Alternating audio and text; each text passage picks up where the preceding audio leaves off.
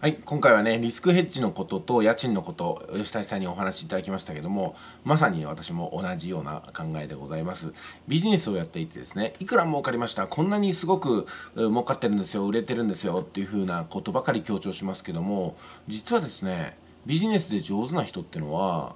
経費を抑えてるっていうことなんだと思うんですよ。もっと言うとですね、固定費を抑えてるってことですよね。固定費と変動費っていうのが経費を作ってるんですけども変動費っていうのは特に上がってもですねいつでも減らすことができるんであんまり、えー、負担にはなんないんですよね。でも固定費っていうのはどんな時でもかかってくるんでこれがですね経営を圧迫するんですよ。それをよく理解してるんでやっぱりねビジネスの上手な人ってこの固定費の減らし方っていうのをものすごく気にしているというかねすごく長けているんですよね。なのにタワーマンションに住んだり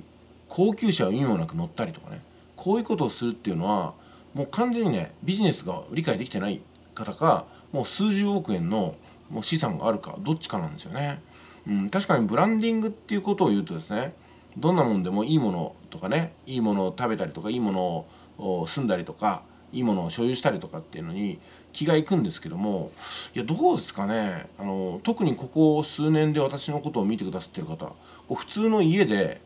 後ろにこう普通扇風機どなたの家にもある扇風機。それから冬はストーブの上に夜間が乗ってたりとかね。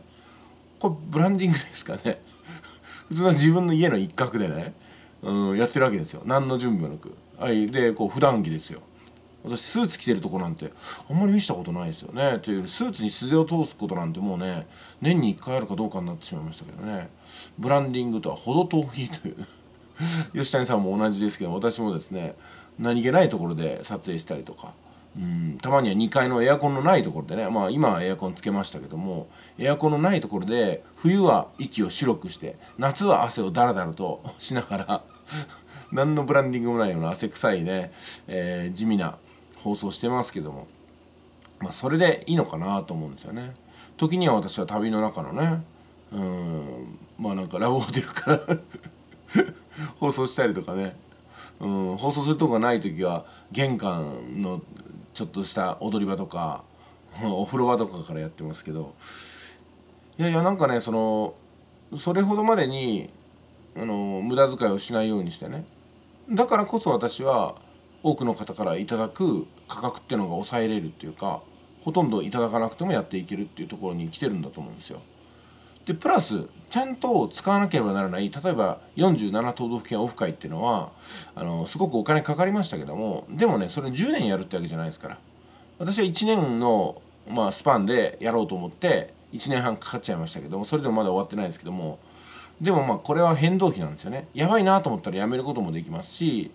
えー、ちょっとさすがに皆さんこの経費きついんで皆さんお願いしますっていう感じでえー、なんですかね、オフ会の参加費を500円とか1000円に設定することもできるんですよ。今のところずっとタダですからね、オフ会っていうのは。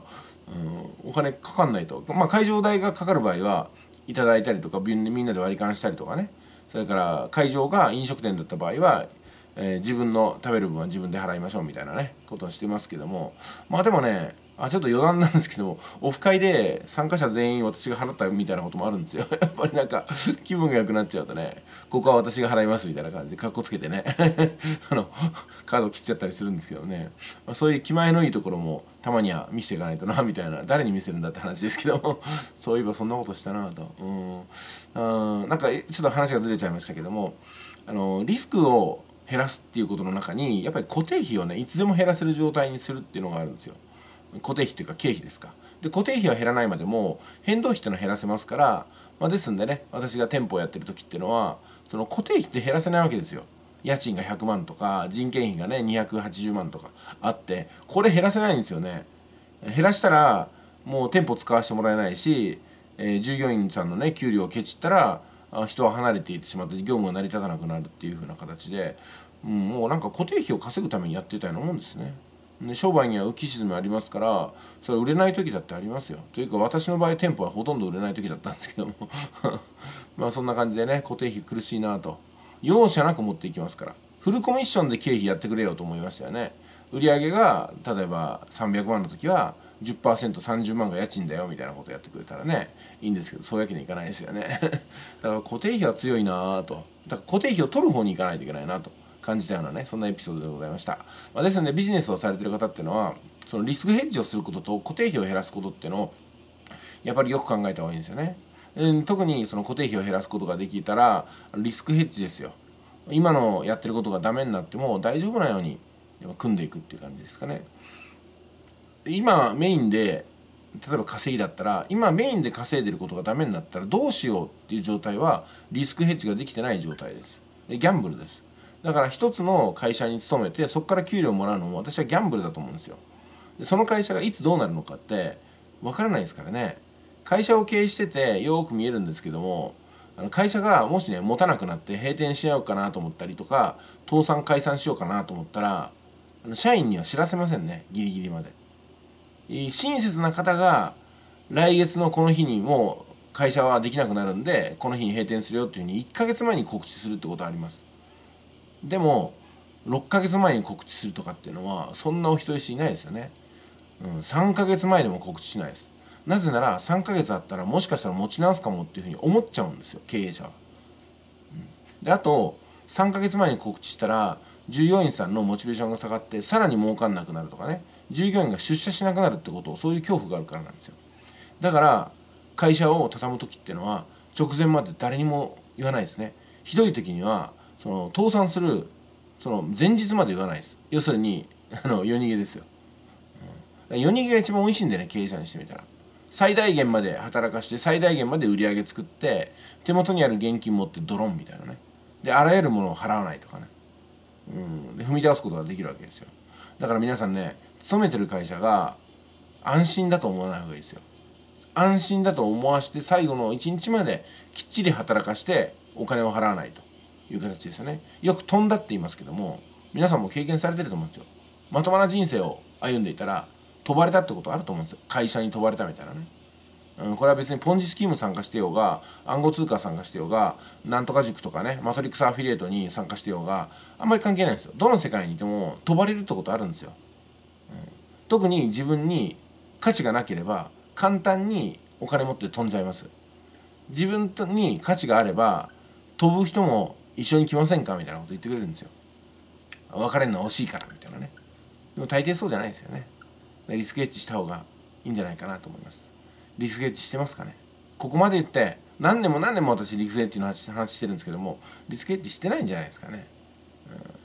なんか余裕ができたらリスケッチするって考えてますけど余裕なんて1年あったらやっぱ作んないといけないですよ。なんか1年以上リスクヘッジができない状態っていうのはもう完全に進歩してないっていうことなんで進歩をしないっていうのが最もねリスクを高めてますよね。自分の防御力がないとか自分の柔軟性がないとか自ら自分で選択肢を作り続けるということができないっていうのはねうんまあある意味ね選択肢を温存するぐらいがいいですね。まあ吉谷さん私のメディアの話してくださいましたけどもそうなんですよ。例のやつが1,000名以上のこう紹介が出せるってことは、1,000名以上のメディアがあるってことなんですよね。このホットなあったかいメディアが。情報発信したら受け取ってくださる方がいらっしゃるという。で例のやつ以外にも私の情報発信期待してくださってる方もいますし、まあ、それその方にはねインドネシアの銀行とか紹介してますけども。で当然バリに一緒に行く人っていうのも私の放送を通じてですからそれ以外ないわけですよ。私がこうやってカメラの前で喋ってるこのたった1点から世界に広がるわけですよね。皆さんの懐具合が大きくなるわけですよ。それ以外のこと私してませんのでね。ブログももうしてないですしメルマガも発行してないし LINE アットは全然ののにアカウントすら持ってないというね。そんな状況でございます。だからあれこれやるよりも1個でいいということでまとめさせていただきます。それでは失礼します。